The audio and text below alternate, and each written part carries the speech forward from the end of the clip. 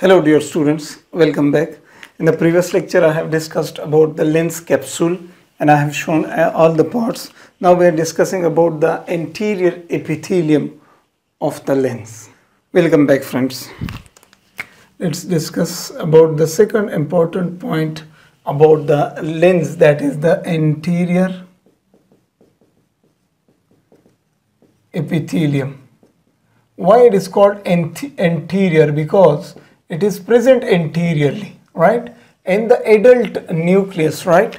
The epithelium is all epithelial cells layer is only present in the anterior surface of the lens as you can see here the posterior surface curvature is little larger than the anterior surface so you can see here the epithelial cells are only present in the anterior surface in this diagram you can see here in this diagram this is the anterior surface and you can see here I have shown it in the anterior surface but on that side there is no epithelium right? So that's why it is called the anterior epithelium and this anterior epithelium mostly mostly it contains the cuboidal cells. That's why we say that the anterior epithelium contains cuboidal cells right? The next important point about it it is a single layer my dear friends. The the epithelium of the lens is only a single layer right? And uh, it is uh, uh, the about uh, how many how what is the number of these cells? So it's about 5 lakh cells are there. 5 lakh cells are present in the anterior epithelium of your lens and we say uh, the next important point about it is that it is divided into three zones right? The epithelium is divided into three zones. The first zone is the anterior zone or we say the central zone right? The first zone is central zone right? In the central zone you can see here all the cells uh, have cuboidal shape. Look this is the central zone. So let me let me write these important points here. These are uh, which type of cells? The cuboidal cells right? And they are non-dividing cells. They don't do any mitosis. Once they are formed they remain there for whole life. So we say okay whenever it is damaged then they show mitosis then they repair themselves so they are non-dividing cells. Cells right? So here I show how many zones of anterior epithelium. The central zone that is there okay. And the central zone cells have polygonal shaped nuclei. Polygonal nuclei right. Then there is the intermediate zone right? The second zone is a intermediate zone.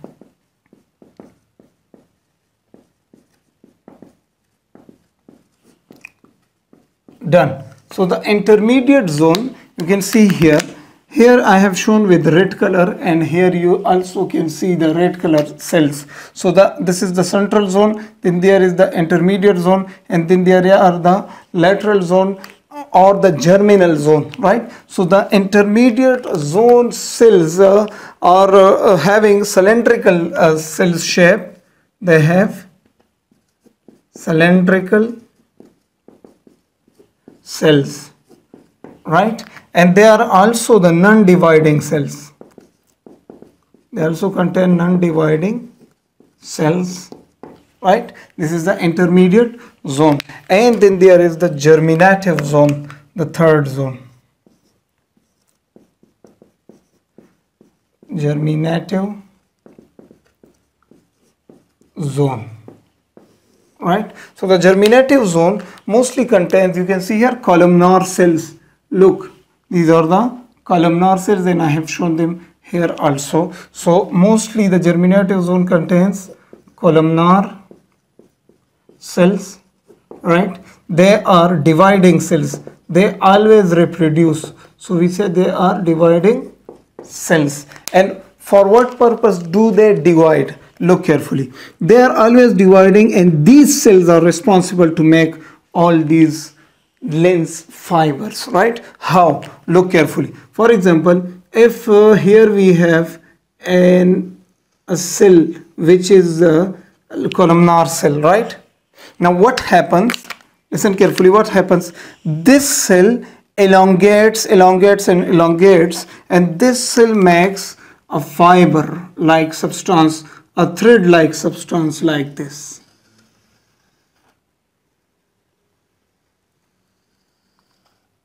right? And uh, at last its nucleus also vanishes from the cell. Now look carefully. It has been converted into a thread like structure right? So all these fibers that you can see present in the lens all these fibers are formed by these columnar cells. So what did we say? We say that the germinative layer contains columnar cells and they are always dividing. For what purpose do they divide? They are always dividing to make the lens fibers. So you can see here the, the embryonic nucleus, then the fetal nucleus, then the uh, infantile nucleus, and then there is the adult nucleus, and this is the cortex.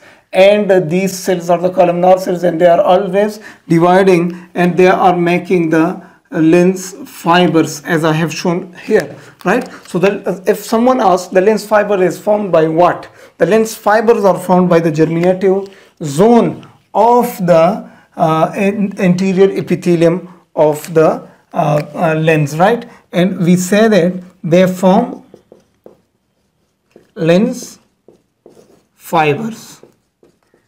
Right like this. So this was about uh, the the anterior epithelium of the lens. I hope you understand. And i have shown him here and shown them here. And the next important point about the anterior epithelium is that these cells are divided into two groups, right? The A cells and the E cells, right? So let me write here also this very important point that is groups. How many groups do they have? They have the A groups and the E group. The A group is the non-dividing group. Non-dividing. So it means that the central zone and the intermediate zone are the a group of cells and the E groups are the germinative cells and they are dividing cells. Right, this was also important. So this was about the anterior epithelium. On the next lecture we will discuss about the lens fibers. Right, be with us.